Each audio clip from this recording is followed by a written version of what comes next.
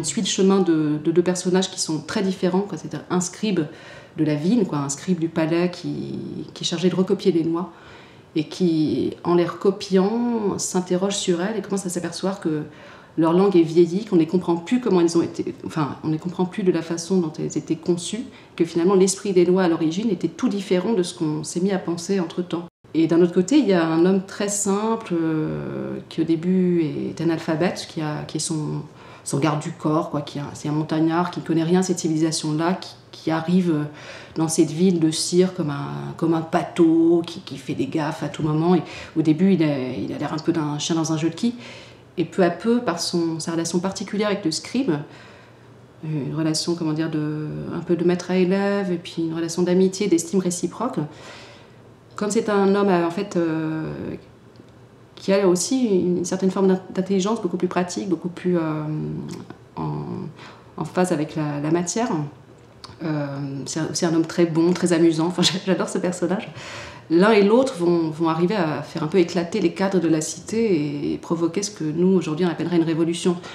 voilà, pour, camper un peu la, toile de fond de ce roman.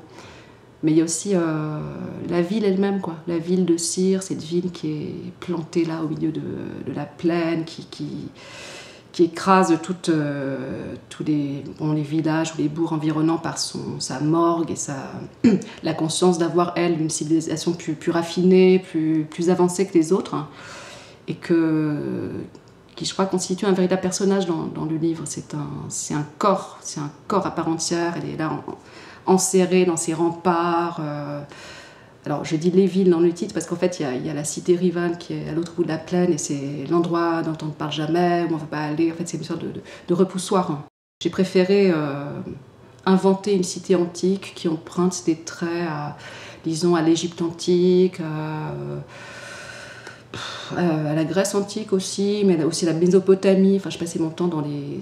Enfin, j'ai fini ce, roman à Berlin, donc j'allais très souvent au musée de Pergame, au musée, au musée égyptien. Enfin, je, baignais là-dedans, en fait, entre des taureaux ailés et des, et des, et des bustes de Nefertiti. Enfin bon, je devais me tenir à, distance de, de, plusieurs civilisations, plusieurs religions, pour ne pas, voilà, d'en montrer une du doigt. En fait, c'est un, un livre sur les monothéismes les trois. Euh, donc euh, il y a un côté un peu amusant parce qu'en de temps en temps on croit reconnaître tel thème euh, et puis on, s'aperçoit que c'est pas tout à fait ça. Et en fait, voilà, dans le roman qui par ailleurs est une histoire très incarnée autour de personnages bien vivants et qui ont chacun un parcours assez. En particulier, il y a deux histoires d'amour parallèles très, très fortes et qui, portent l'intrigue. En fait, c'est pas du tout un roman général sur un roman politique comme ça sur une ville en général. Effectivement, les, mythes repoussent toujours. Alors, euh, il y a une sorte de mouvement de cycle dans, dans, le roman. Euh, on dévoile un mythe, en fait, on en révèle la, enfin, la réalité, le, substrat euh, qui est parfaitement humain et qui n'a absolument rien de, divin, comme on croyait au début. Mais à la fin, enfin, il se trouve que on sent que le mythe va repartir, dans, qui va, de nouveau, il y avait un processus de, un processus de, de mythification et d'interprétation et que en fait euh, voilà une vision de l'histoire longue un peu comme euh, des, de cours et de recours quoi. Le, mythe euh, monte et puis il est dévoilé mais un autre renaît et c'est ça qui me fascinait plus que le, retour aux sources.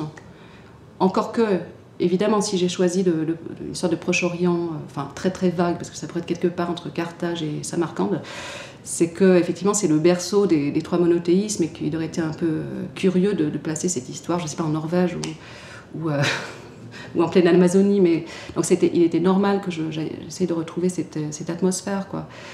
Euh, mais c'est un Orient qui est déjà passé par des prismes. J'ai pas fait des recherches de terrain, c'est pas du tout ce qui m'importait. J'avais plutôt, j'ai cherché plutôt une esthétique justement déjà de je parlais de péplum tout à l'heure. Euh, c'est exactement ça qui m'excitait, c'est-à-dire l'Antiquité déjà, vue à travers certains filtres. Alors, euh, le péplum au cinéma, mais aussi le, comment dire, l'Égypte antique telle qu'on peut la voir au XVIIIe siècle, par exemple chez Mozart. Donc ça n'a rien à voir avec la réalité, bien sûr, mais peu importe. Au contraire, ça me plaisait. Il y, avait, a un aspect volontairement factice, ou presque par moments de bande dessinée.